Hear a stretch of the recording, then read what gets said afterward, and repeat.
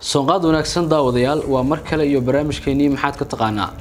Barnaamijka toddobaadkan waxa aan ku eegi doonaa tobanka magaalo ee markaasi ugu bilicda qurxoon guud ahaan qaaradda afrika. Inta barnaamijka uu socdo waxaan kuusoo gudbin doonaa magaalooyinkaasi waddamada ay ka tirsan yihiin baaxadda dhulkooda inta uu leegyahay iyo weliba guud ahaan tirada dadka ku nool.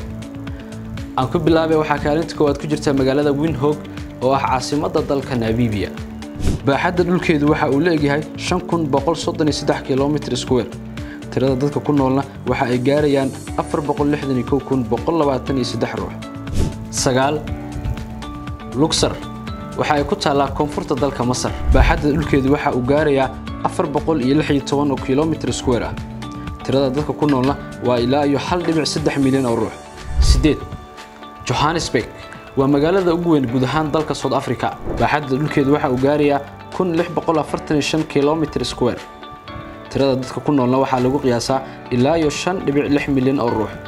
Sida ay sheegayso xogururintii ugu dambeysay ee la sameeyey sannadkii toddobo gabron waa caasimadda dalka botswana. Baaxadda dhulkeedu waxa uu gaarayaa kilomitr square sidoo kalena tirada dadka ku nool waxaa lagu qiyaasaa ilaa iyo kun oo ruux. Lix. Magaalo xeebeedka laamu oo ka tirsan jasiiradda laamu ee dalka kenya. Baaxadda dhulkeedu waxa uu gaarayaa kilomitr tirada dadka ku noolna waxaa lagu qiyaasaa ruux. Shan. Waxaa kaalinta shanaad ku jirta magaalada bahirdaar oo caasimad u ah gobolka amxaarada ee waqooyiga dalka ethoobiya baaxadda dhulka ay ku fadhiso waxaa lagu qiyaasaa ilaa iyo kilomitr square. Dadkeedana waxaa lagu qiyaasaa ilaa iyo ruux. Afar qaahiro caasimadda dalka masar. Sidoo kalena ah magaalada ugu weyn dunida carabta. Badkeeda waxaa lagu qiyaasaa ilaa iyo kilomitr square. Tirada dadka ku noolna waxaa lagu qiyaasaa ilaa iyo milyan. Sida ay sheegayso qiyaas la sameeyey sannadkii magaalada qaahiro waxa ay ka dad badan tahay marka la isu geeyo tirada dadka ku nool waddamada jabuuti qatar iyo weliba sidoo kale baxriin saddex maraakish. Waa magaalada afraad ee ugu weyn guud ahaan boqortooyada dalka morocco baaxadda dhulka ay ku fadhiso waxaa lagu qiyaasaa kilomitr square. Tirada dadka ku noolna waxa ay gaarayaan ilaa iyo ruux labo. Waxaa kaalinta labaad ku jirta tuulada stan town oo caasimadu ah sansibaarta dalka tanzania badkeeda waxaa lagu qiyaasaa ku dhowaad hal kilomitr oo square. Tirada dadka ku nool waxa ay gaarayaan ilaa iyo ruux.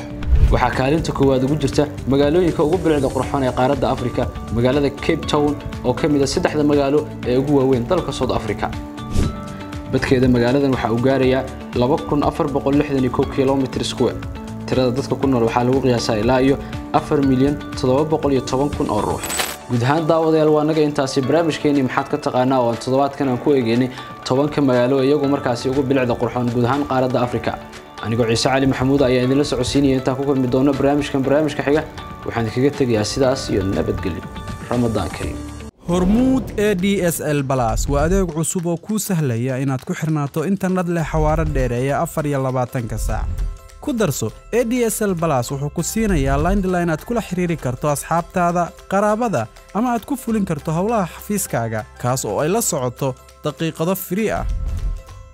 Xirmooyin kala duwan oo qiimo jaban iyo inaad si fudud ugu xawilan karto xisaabtaada moobaylka waa qaar ka mid a faa'iidooyinka adeegga internetka hormuud ee e d s l balas guriga xafiiska ama xarunta shirkaddaada isticmaal e d s l balas oo ku xidhnow dunida